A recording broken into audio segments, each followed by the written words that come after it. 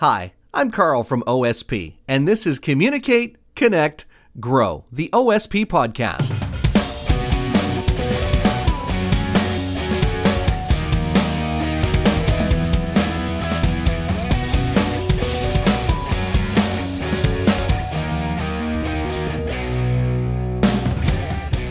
On today's episode, we're talking about the editing code quote. About our podcast. If you want to be a more effective writer, a more transparent editor, develop clear strategic thinking, or learn from our network of expert friends and colleagues, that's what we're here for. We divide our episodes across three themes communicate, connect, and grow. This is a communicate episode, and we're talking about your writing with our editing code quote. The quote editing code falls into phase B, the flow and sections phrase of the process. It's about establishing trust with your reader by including evidence from a subject matter expert. In our documentation about this code, it says quote your subject matter expert directly wherever possible. Always introduce the speaker of the quote with full name and their role if that's important. Use quotation marks. Quotes help add interest and credibility. My name is Felicity Brand, and I am a communications consultant at Open Strategy Partners.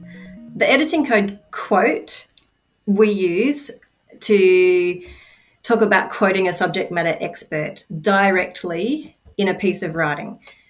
That means we use quotation marks.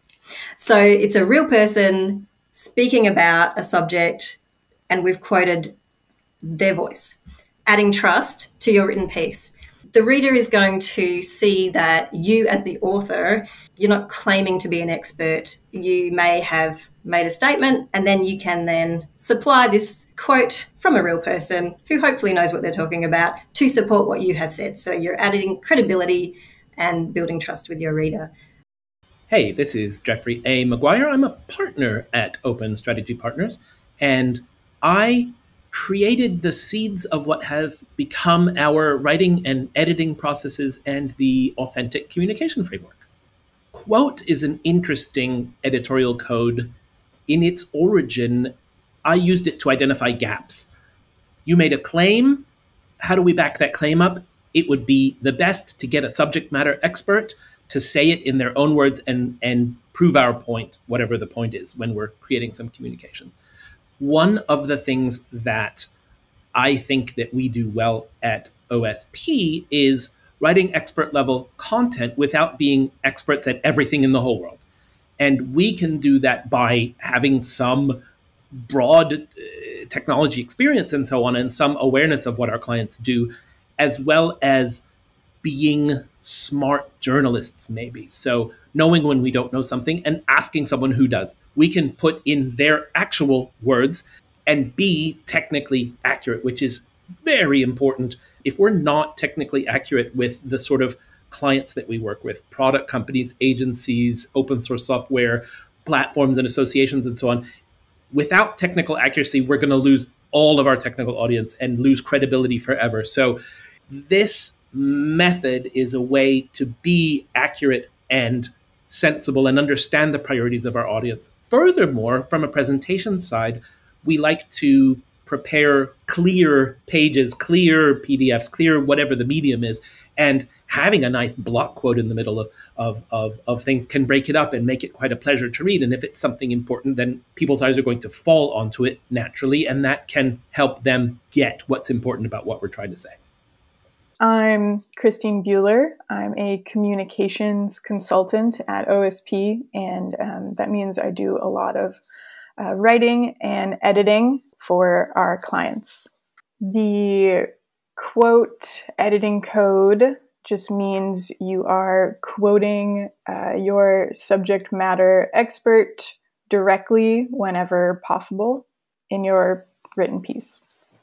My name is Liz Robau, and I'm a communications consultant at OSP. So I help all of our clients draft all kinds of writing.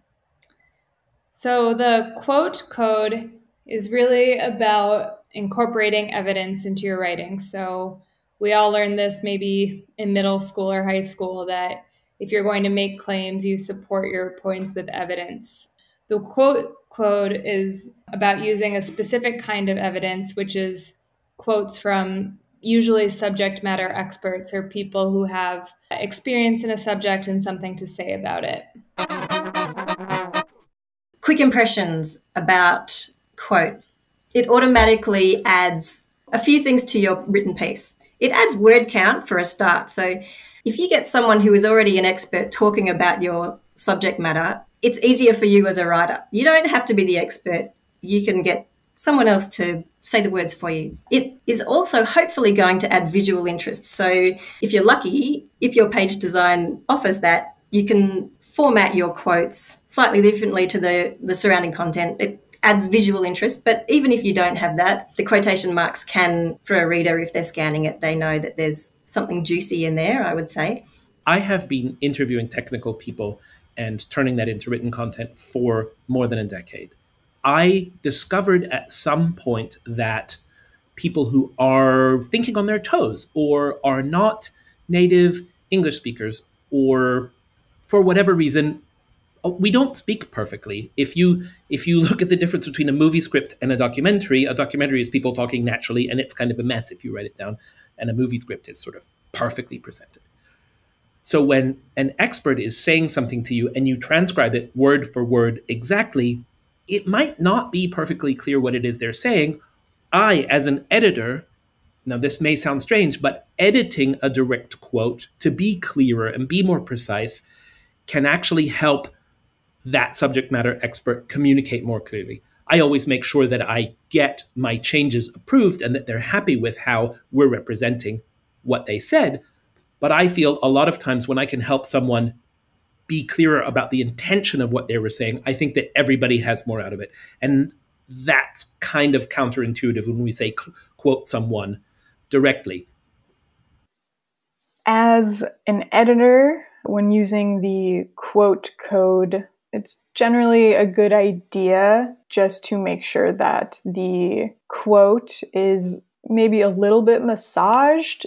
If there are lots of ums or if grammar is off or you know maybe the subject matter expert is not being super crisp in their response you can sort of move things around a little bit just to make sure it's concise.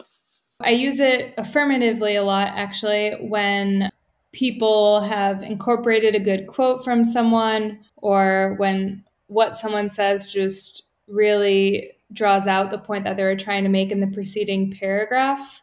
Sometimes I'll use it if I feel like we're just writing long blocks of text and one sentence that's particularly a bit snappy could be made into a quote by a subject matter expert, but that'll vary from piece to piece whether it's appropriate to quote someone or not.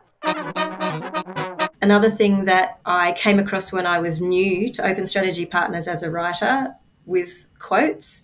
We work with a lot of non native English speakers, and sometimes a written quote, perhaps they've said it verbally and that's been then transcribed, it may not be gra- grammatically correct. I thought the written version of that spoken word was sacrosanct and you couldn't couldn't edit that. However, I was made really comfortable knowing that it's okay to edit a quote to make it grammatically correct. In some cases, some of our non native English speakers really welcome that because, in a way, we're making them look really articulate. Don't be afraid to edit your quote, but do, always do, get the speaker to review it. They need to authorize what you're saying they said. So that's an important thing to remember with quote. As a writer, something that I learned a long time ago was that when I moved to technology marketing, a lot of developers and technical people don't trust the marketers. The marketers end up selling a lot of vaporware or or inaccuracies or what have you.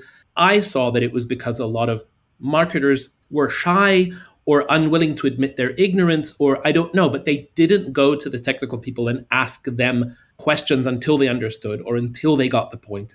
When we're preparing to write our articles, if we speak with our subject matter experts and ask enough questions, then we get the information that we need to convey in our posts. And it's a really powerful tool. So, quoting is actually part of asking good questions and listening and doing follow up questions for me. And that's kind of part of the writing research process. As a writer, when I'm using the quote editing code, I'm generally combing through a piece and looking for bits that I can pull out. For one, just because, you know, we're often working with pretty uh, technical subject matter. When we're quoting the experts directly, it not only helps the reader understand what we're talking about, it also helps me understand what it is I'm writing about. Especially with case study pieces or blog posts that are sourcing others' comments, I like to use it fairly often just because they let you use a bit more of a human voice. Like sometimes there's a pretty straightforward blog or case study voice, and you get to incorporate something that sounds a little bit more like a person, which can be really nice to break it up. With the quote code, you can keep in mind that the writers and editors, we have a relationship with the reader, and the reader might be reading an article of ours for the first time, or they might be following us on whatever platform and under whatever name we're writing. They might be following us for a long time, and we have to build up trust with them if they're going to choose to use our product, if they're going to choose to learn something new, whatever it is that we're trying to inform or convince them about quoting a subject matter expert helps build trust with the reader. Well known person X, who's an expert in technology Y, says, Yes, indeed, this saves me three hours a day and lets me do something more interesting. That can be very powerful if someone is an expert, if someone is well known, if someone has the right and reason to be making these kind of statements, much more than me as the channel of their expertise, right? When I'm writing, I am trying to channel the information from my clients or from us to the readers that, that, that we've agreed is strategically. Quote builds credibility. I think the quote editing code is important to readers because it just offers up some proof or some evidence. I think a lot of people get pretty turned off by communication. That's too marketing e too much of a, a, sales bent. Like people don't really like to feel like they're being sold something. A quote from a subject matter expert it's a little more objective and um, it offers up proof that this isn't like we're not just hyping up whatever we're talking about. Readers like reading quotes because it reminds them that there's actual humans that have been involved in developing a certain argument or line of thought. They like to know who's giving them advice. So a quote will tell them, like, oh, this person who knows a lot about this subject says this. So it, it lends some authority to whatever you're reading. I hope you leave this episode, and I quote, sharing more of what the subject matter expert has to say. How do you use quotes? Share your examples or questions with us via Twitter at open underscore strategy or email hello at openstrategypartners.com.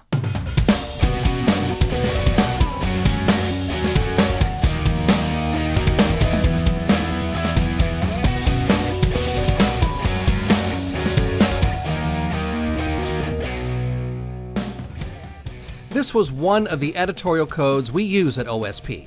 We'll be sharing more of them as we go. If you'd like to learn more in the meantime, come over to openstrategypartners.com. Have a look at our writer enablement workshops, case study offering, or get in touch to talk about your strategy or product communication needs. Thanks to everyone who contributed to this podcast. All the P's at OSP. Thanks to our clients who believe in us.